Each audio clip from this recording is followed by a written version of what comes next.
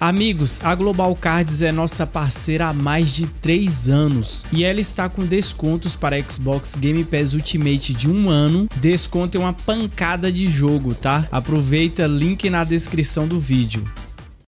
Amigos, esse ano a gente teve o evento da Sim Export 2024, que ocorreu na Alemanha. A gente teve a apresentação aí do novo Aceto Corsa Evo e nós tivemos a presença do Marco Massarotto, que é o cofundador da Cono Simulazione, o David Briville, que é o diretor do jogo, o Steve Von Hell, que é o CMO da Sim Grid. Então eles falaram um pouco sobre o jogo e a gente tem também uma entrevista exclusiva com o Marco Massarotto, que é o cofundador da Cono Simulazione. Todas todas as informações que eles passaram aqui traz confirmações interessantes para o novo Aceto Corsa Evo. Durante a exposição, o Marco contou um pouco sobre a filosofia por trás do Aceto Corsa Evo. Ele falou que a equipe quis voltar às origens, mas sem perder o DNA do Aceto Corsa. Ele disse: "Pegamos tudo o que fizemos no primeiro jogo, variedade de carros, pistas, gameplay e adicionamos o que estava faltando na série". Ele ainda destacou que agora o foco é muito maior na jogabilidade, economia economia no jogo e na precisão dos detalhes como física dos carros, sons e pistas. O Marco também revelou que eles desenvolveram um motor gráfico totalmente novo para o Aceto Corsa Evo, trazendo tecnologia de ponta para VR, telas triplas e outros recursos de simulação. Ele disse: "Esse novo motor tem clima dinâmico, pistas dinâmicas e até um modo jogo livre com uma tecnologia de terrenos que permite criar mapas com centenas de quilômetros de estrada." Ele mencionou também uma inovação interessante para o Aceto Corsa Evo: repensar o Sim Racing. Ele falou que não é só sobre corridas na pista, mas também sobre curtir a direção nas ruas. Queremos que os jogadores aproveitem ao máximo cada carro, seja na pista ou na estrada no mundo aberto. O David Breville também apareceu no evento e expressou sua gratidão, dizendo que o amor pelos carros e pela simulação de corrida foi o que impulsionou o desenvolvimento do jogo. Ele explicou que o Aceto Corsa Evo foi pensado para se expandir por muitos anos, talvez indefinidamente. Ele falou: queremos criar algo além de um simples modo carreira, algo como um RPG de carros, onde os jogadores podem colecionar, modificar e personalizar seus veículos com uma liberdade insana. Essa parte é muito interessante, dá para você colocar muitas ideias aí nos comentários do que eles podem trazer, mas dá pra gente ver aqui um nível de imersão que nunca teve no Aceto Corsa, né? A não ser que você colocasse mod nele. Pelo que a gente tá vendo aqui, quando esse jogo for para os consoles, o pessoal não precisa nem se preocupar com mods, né? Porque a liberdade vai estar lá também.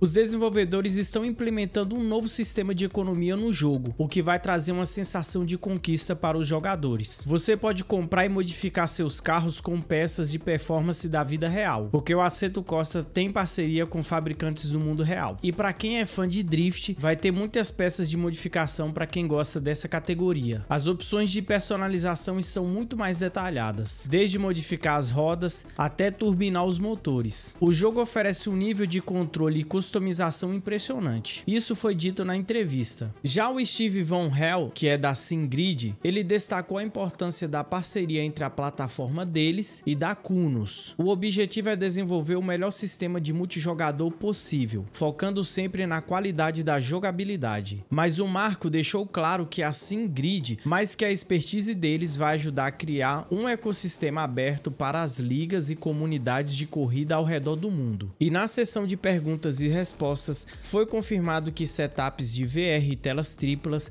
já estão funcionando nas versões alfa e vão estar funcionando nas versões de acesso antecipado, que vai sair no dia 16 de janeiro. Anota aí, 16 de janeiro, acesso antecipado. Além disso, o suporte para telas curvas, que é um recurso bastante elogiado no primeiro Aceto Corsa, vai continuar. No evento também o Marco destacou que eles tiveram um período aí de quatro anos no desenvolvimento do Aceto Corsa Evo e eles estão bastante felizes aí com o feedback da comunidade do Aceto Corsa e vão manter uma estreita relação para melhorar ainda mais o jogo. Mesmo com os problemas que muitas desenvolvedoras tiveram há uns anos atrás, a política de trabalho dessa desenvolvedora que fica na Itália é totalmente diferente da desenvolvedora do Forza Motorsport, que eu sei que muita gente vai querer fazer comparações. E nesse mesmo evento, a gente gente teve uma entrevista exclusiva com Massaroto abordando os principais aspectos do jogo, desde a sua evolução técnica até a experiência no multijogador. Massaruto destacou a importância de manter o caráter italiano da franquia, não apenas no nome Evo, uma referência à palavra italiana evoluzione, mas também em toda a filosofia de desenvolvimento do jogo. Ele disse: "Queremos manter a essência italiana que define a franquia Assetto Corsa, que é 100% feito na Itália.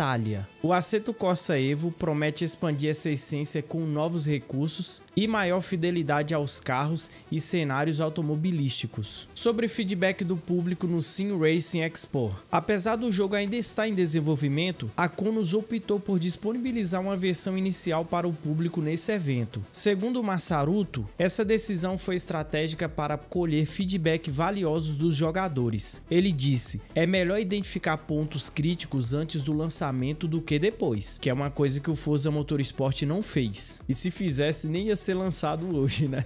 Ele destaca a importância de ouvir a comunidade e ajustar o jogo com base na impressão dos fãs. Outra questão abordada nessa entrevista foi a autenticidade dos gráficos apresentados no primeiro trailer de lançamento do Assetto Corsa Evo, que o Massaroto garantiu serem totalmente capturadas no jogo. Ele ressaltou que a equipe não utilizou o CGI, mas sim um novo motor gráfico desenvolvido especificamente para simular carros, pistas e ambientes com precisão. Ou seja, é um motor gráfico exclusivo aí para jogos de corrida, diferente da EA, né, que usa mistureba danada. E na questão de CGI também eles não utilizaram, diferente do Forza Motorsport, que o primeiro vídeo do Forza Motorsport novo é 100% CGI e não tem nada a ver com o jogo atualmente. Além disso, Massaruto mencionou melhorias no modo de física e sensação de dirigir, o que tornará os carros mais fáceis de controlar sem sacrificar o realismo realismo. Eu sinceramente adoro andar com os carros do Assetto Corsa Competizione, cara. Eu acho muito grudado, diferente de outros jogos aí, né? E no quesito cultura automotiva, Massaruto confirmou a adição de um modo de exploração livre, permitindo que os jogadores dirijam por estradas com carros de passeio, oferecendo uma experiência mais relaxada para aqueles que só querem apenas curtir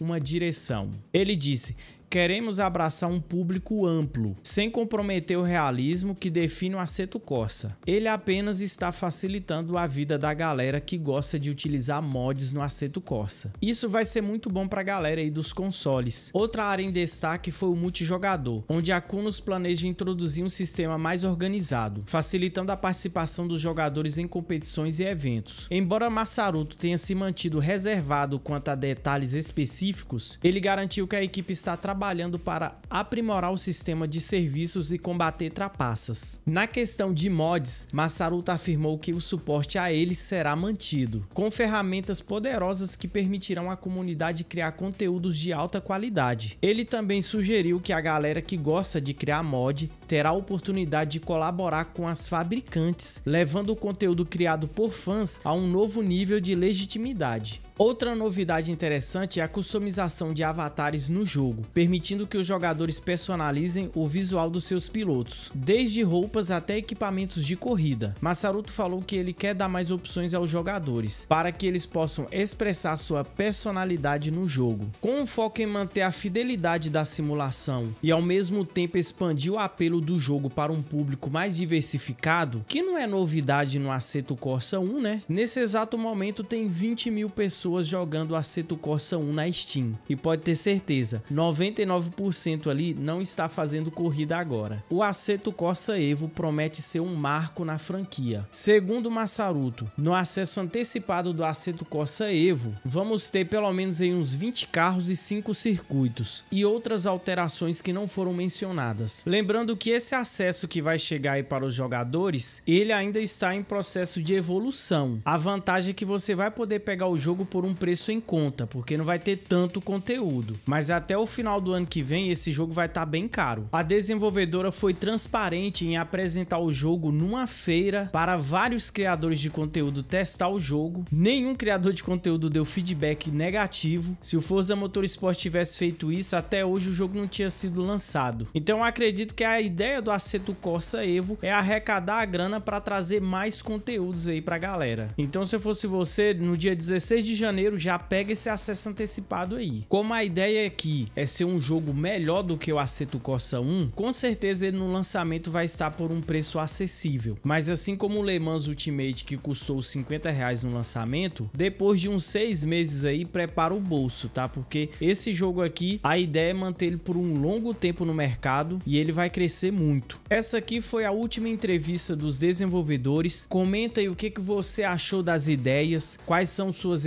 expectativas. Se você é novo no canal, já se inscreva, porque eu quero trazer muito conteúdo desse novo Aceto Corsa Evo. Eu espero que tenha gostado e até o próximo vídeo.